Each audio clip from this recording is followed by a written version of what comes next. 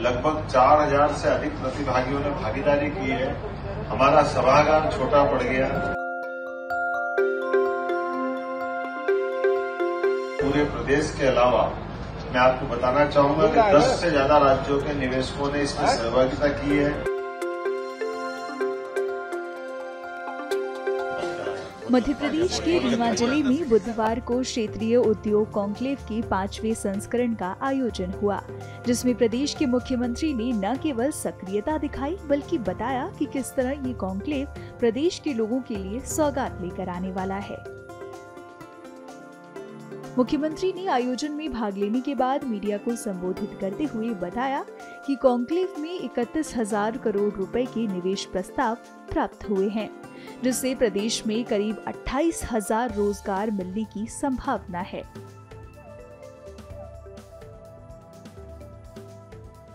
क्षेत्रीय उद्योग कॉन्क्लेव का पांचवा संस्करण रीवा के कृष्णा राज कपूर ऑडिटोरियम में आयोजित किया गया। और इसमें 10 से अधिक राज्यों के उद्योगपतियों और निवेशकों ने भाग लिया। रीजनल इंडस्ट्री कॉन्क्लेव रीवा के अंदर आज जैसे कि उम्मीद थी, मुझे इस बात का संतोष है कि जिस प्रकार से माहौल बना रीवा में, पहली बार रीजनल इंडस्ट्री कॉन्क्लेव करने का मौका मिला जिसके माध्यम से हमारे रीवा अंचल में रीवा सीधी सिंगरौली पूरे संभाग, सतना औद्योगिक क्रांति की दिशा में एक बहुत बड़ा कदम था और इसका रिस्पांस भी क्षेत्र से उतना ही अच्छा आया। हमारी उम्मीद से बढ़कर के पंजीयन हुए हैं और पंजीयन भी कितने हुए हैं अंदाज लगा सकते हैं इस बात का कि निवेशकों और हमारे उद्योगपतियों का जो उत्साह है, लगभग चार हज़ार से अधिक प्रतिभागियों ने भागीदारी की है। हमारा सभागार छोटा पड़ गया। कई इंडस्ट्रियलिस्ट हैं जिनकी इंडस्ट्रियों का भूमि पूजन हुआ। उनके इंडस्ट्रियों के, जिनके छोटी इंडस्ट्रियाँ थी तो हमको अपने बिठाने की जगह कम पड़ रही लेकिन उसके बाद भी लोगों का उत्साह कम नहीं हुआ। और न केवल हमारे रीवा अंचल के, बल्कि पूरे प्रदेश के अलावा, मैं आपको बताना चाहूँगा कि 10 से ज़्यादा राज्यों के निवेशकों ने इसमें सहभागिता की है। आज जो इंडस्ट्री कॉन्क्लेव की गई है, इस इंडस्ट्री कॉन्क्लेव में जो प्रस्ताव आए, मुझे इस बात की प्रसन्नता है कि आमतौर पर इतने बड़े पैमाने पर प्रस्ताव आना ये हमारी कॉन्क्लेव की सफलता बताएगी। लगभग इकतीस हज़ार करोड़ से ज़्यादा के निवेश के प्रस्ताव आज हमारे यहाँ इसी कॉन्क्लेव में आए हैं। मुख्यमंत्री ने उम्मीद जताई कि निवेश प्रस्ताव प्रदेश में औद्योगिक निवेश इकाई के लिए नई ताकत बनकर उभरेंगे और विंध्य क्षेत्र की पहचान भी बनेगी। इस दौरान सीएम यादव ने विंध्य क्षेत्र के विकास के लिए कई घोषणाएँ भी की। मैं उम्मीद करता हूँ कि जिस प्रकार से उद्योग विभाग एमएसएमई खनिज, अन्य सेक्टर में मिलकर के प्रस्ताव आए हैं, ये न केवल मध्यप्रदेश की, हमारी औद्योगिक निवेश की इकाई का एक नया ताकत का रूप बन के निकलेगी, बल्कि विंध्य के क्षेत्र को अपनी एक नई पहचान बनाएगी। ये रीजनल इंडस्ट्री कॉन्क्लेव का क्रम जो हमने पहले से डिसाइड किया, आज पाँचवें नंबर का था। और इसकी खास बात यही रही है कि पहली बार होने वाली इंडस्ट्री कॉन्क्लेव में भी जिस ढंग से रिस्पांस आया है, ये रिस्पांस बताता है कि ये बार बार की और ऐसे आने का अवसर पर दोबारा भी हम इस प्रकार से इस क्रम को जारी रखेंगे।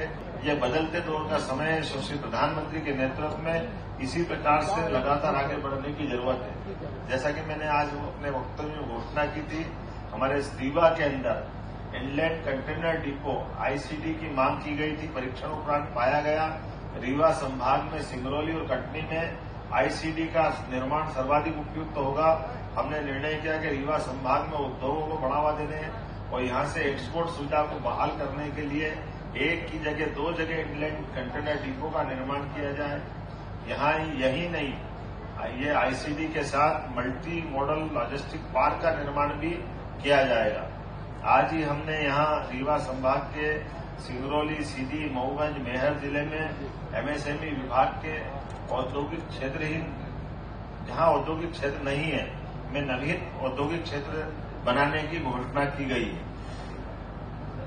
सॉरी जिला रीवा और सतना में वर्तमान स्थापित औद्योगिक क्षेत्र के अलावा नवीन औद्योगिक क्षेत्र रीवा और सतना में भी किए जाएँगे।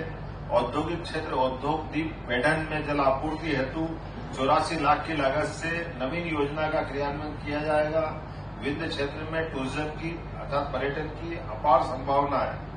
देशी विदेशी पर्यटकों को आकर्षित करने के लिए विशेष टूर पैकेज और पर्यटन सर्किट बनाए जाएँगे। देश के अन्य शहरों और विदेशों में भी इसका प्रचार प्रसार किया जाएगा। संजय दुबरी नेशनल पार्क के आसपास अंतर्राष्ट्रीय स्तर की पर्यटक गतिविधियों का केंद्र बनाया जाएगा। विंध्य में निजी निवेश के बेहतर से प्रयास के लिए बेहतर होटल, रिसोर्ट्स, पर्यटन की परियोजना विकसित करने के लिए पर्यटक निवेश नीति और अधिक आकर्षित किए, करने जा रहे हैं। खास करके यहाँ की जो रीजनल कॉन्क्लेव की गई, इसमें नवकरणीय ऊर्जा के निवेश में अत्यधिक रुचि प्राप्त होती है।